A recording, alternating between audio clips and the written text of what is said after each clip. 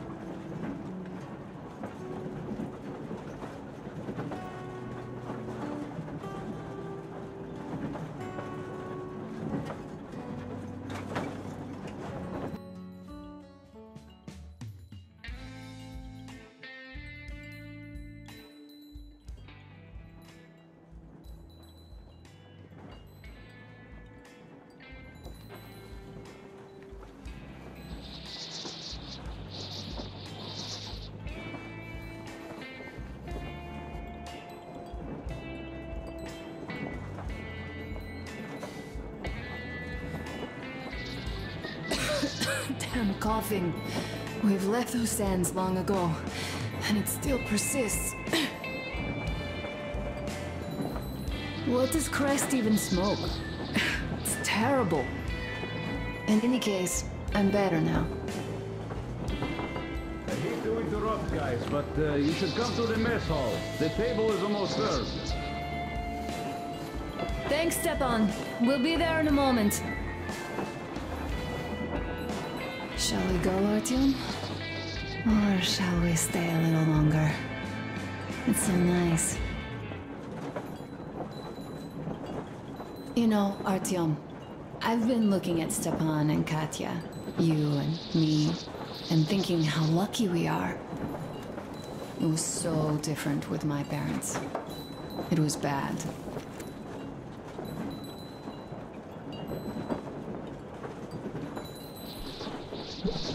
Did I ever tell you why my mom died? Of course I didn't. It was because of Dad. He used to be even harsher back then. He used to come home from the barracks and reach for the bottle while taking off his boots. They'd quarrel, and then he'd stop appearing for a time. And while he was away, she'd start drinking too, and crying when she was sober. She'd feel better, would get kinda dreamy when drunk. You know how she used to call me? Just A. She'd hug me and say, One day, A, you and I are going to go to Vladivostok, the city I was born in. And from there to a village on the ocean shore. I was five back then and didn't really get much. But I could imagine that village and the ocean so vividly because I believed her. And then she killed herself, drank some kind of poison. Father quit drinking after Mom's death. Didn't ever pay much attention to me, but with her gone, he'd never leave me alone. Took me along everywhere. We only talked about her a couple of times, though. I used to have this doll, Jana. I played make believe that she was my daughter and we went to the ocean together. Then my father hid it, told me it got lost. He probably didn't want me to agonize over mom's dream. Then I imagine she grew up and went to Vladivostok. And now I'm going. Not to Vladivostok, but with you. The dream came true. By the way, I was always intrigued by what Dad dreams about. He should have some dreams, so what are they? Higher rank? He could choose any. Go, Artyom. I'll rest some more and join you later.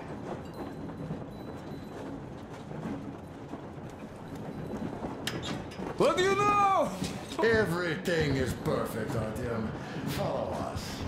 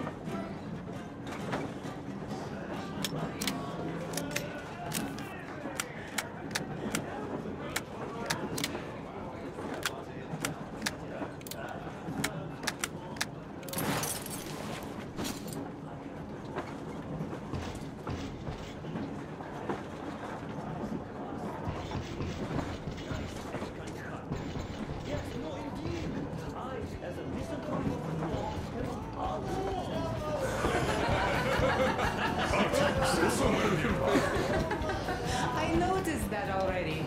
He is incredibly kind. Ah, that's just slander. They are jealous. What did I miss? You should have seen them dance. Jealousy Don't you worry. You'll get another chance. A moment of your attention, please.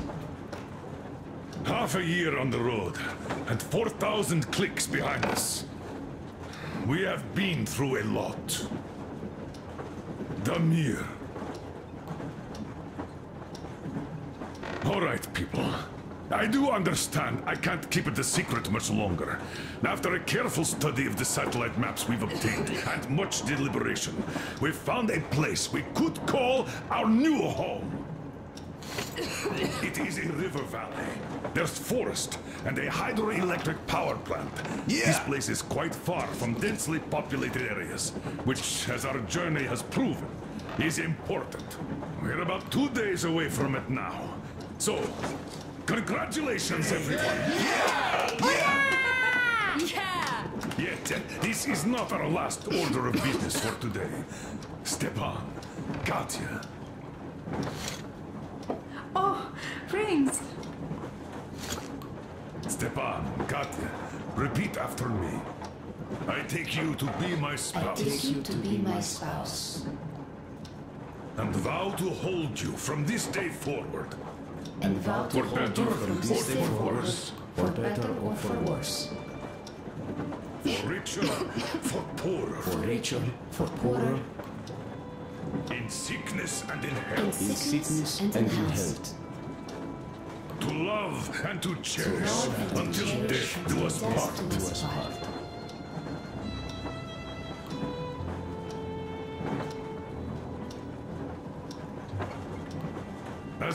Captain of this ship, I hereby pronounce you husband and wife. Live long and be happy. Oh, and Gorko! Gorko!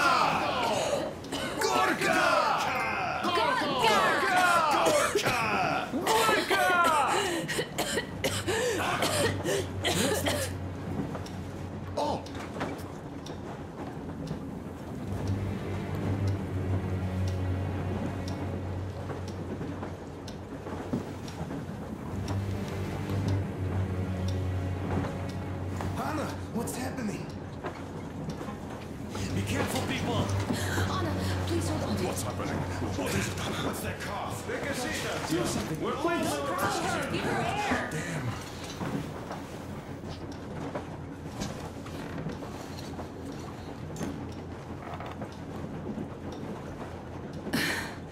I'm sorry I didn't say anything.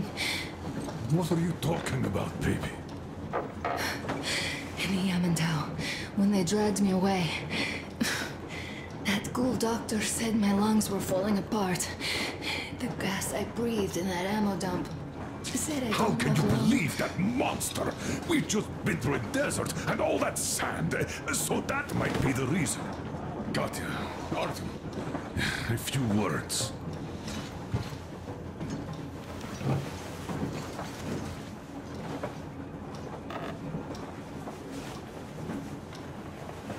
I'm all right, Artyom.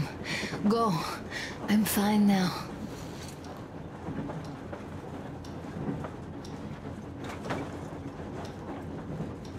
I don't know about this. The old man is furious.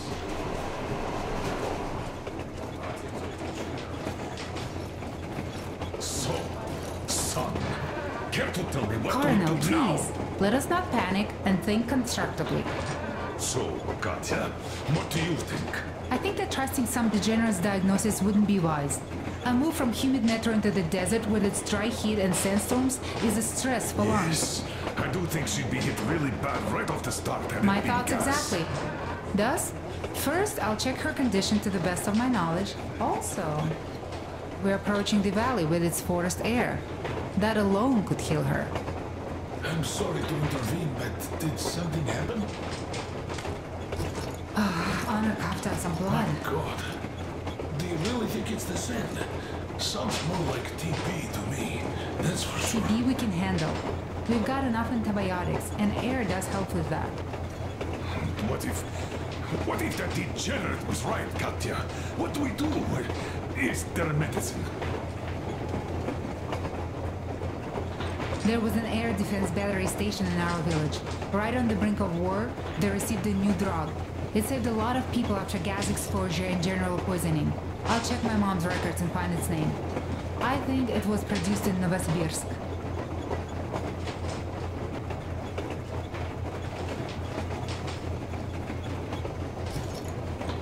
Right, Novosibirsk.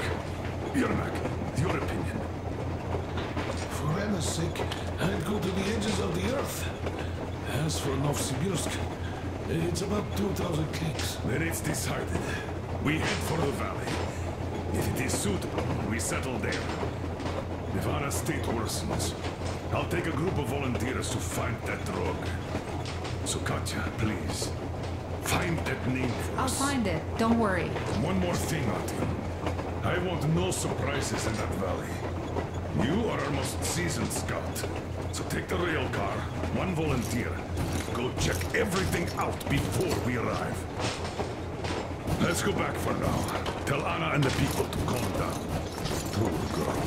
Now I understand why she was so down. Just imagine thinking about all that. Artyom, you should go to the bridge. The colonel's waiting. You can So, tell us later. what is the jury's verdict? Go, Artyom. I'm better Here are already, your orders, really. Everyone. First of all, stay calm. The plan stands. We head for that valley with its fresh air and clean water. Then we go about settling there. Yeah, If Anna's health, Dad, please. I repeat, Anna, in case you start getting worse, there's a drug Katya told us about, so we can go and find it for you if it is needed. Hmm, that sounds like a great plan. I'd also like to say this. Guys, please don't worry. I've been feeling pretty bad as it is for ruining the party. Oh, come on. You didn't ruin anything. I just brought myself down to rock bottom over that bastard from Yamantau. Though it must just be the sand and desert climate. Of course that must be it. We were discussing exactly that just now. Artyom, we'll look after Anna here.